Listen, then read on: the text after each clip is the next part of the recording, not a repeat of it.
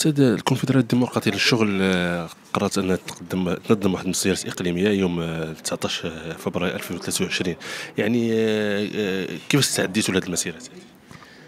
هو الوضع الوضع الاجتماعي والاحتقان اللي كاين والمعاناة ديال المواطنين كتفرض بالضرورة أن الكونفدرالية الديمقراطية للشغل انطلاقا من مرجعيتها وربط دائما القضايا الاجتماعية بالقضايا السياسية بالقضايا الحقوقية بالقضايا اللي كتشغلنا كطبقة عاملة وكتشغل المواطنين.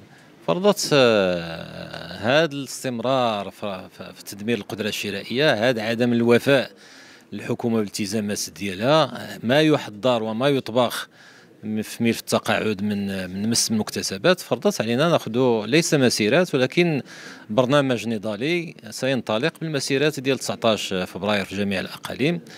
آه، وهي إشارة ديال الاحتجاج وديال التنبيه مرة أخرى للحكومة.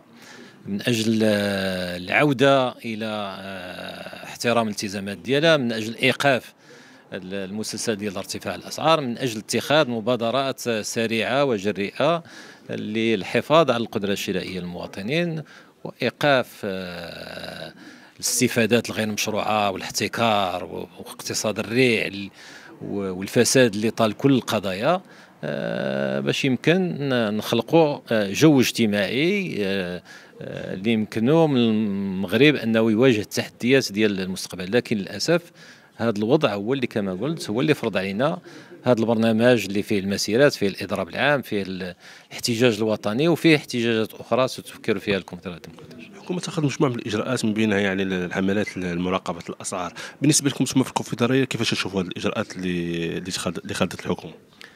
الازمه الأزمة اللي كيعيشها المغرب. في هذا السياق الوطني الاستثنائي ليست أزمة ظرفية كما يدعون. خطاب الإكراهات والتبريرات أصبح متجاوزا وغير مقبول من طرف المغاربة. في كل مرة نجيبوا تبرير أو إكراه. آه، حتى الحملات الحملة مرتبطة بلحظات.